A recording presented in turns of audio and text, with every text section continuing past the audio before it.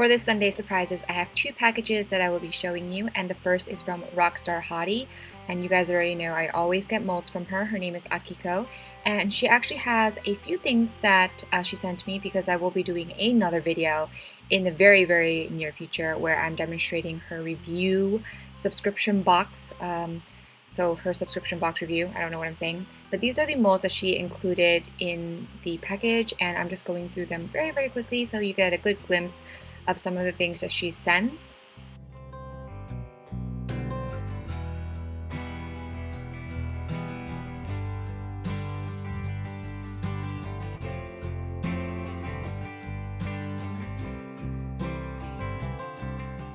also mention that a lot of these pieces are original molds. Uh, more recently, Akiko has been getting sculptors and artists as well as some other companies to send blanks that are made personally for her site.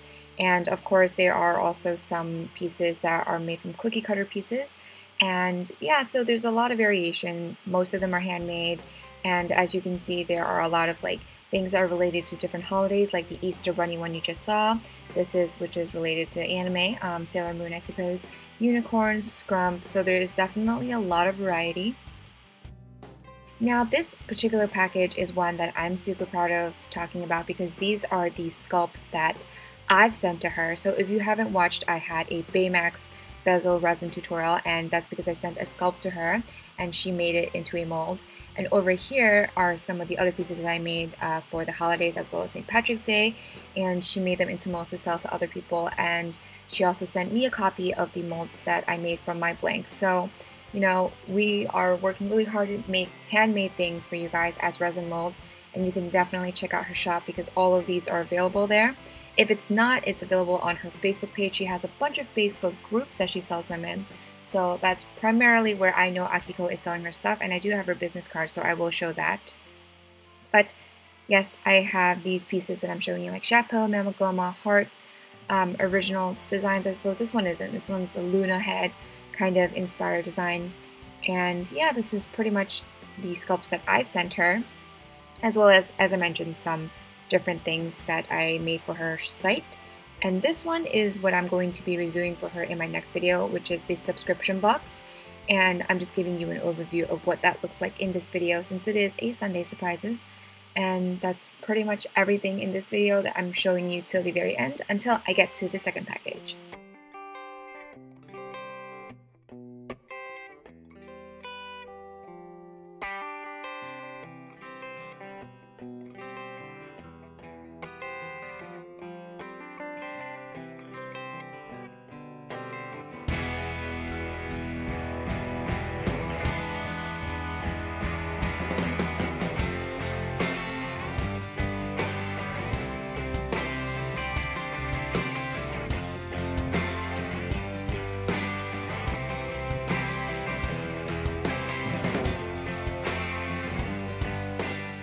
So this is pretty much everything she sent.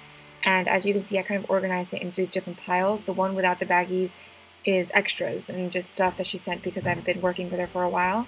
And the one with the hearts is the reviews subscription box. And the one I'm touching right now is the molds that I sent her, the blanks I sent her. The second package I got from Etsy, and they're just uh, little molds that I got.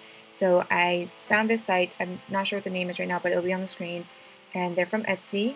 I bought five molds from her and primarily I wanted a star mold because I've been making stars myself and I keep making them out of hand, um, like by hand.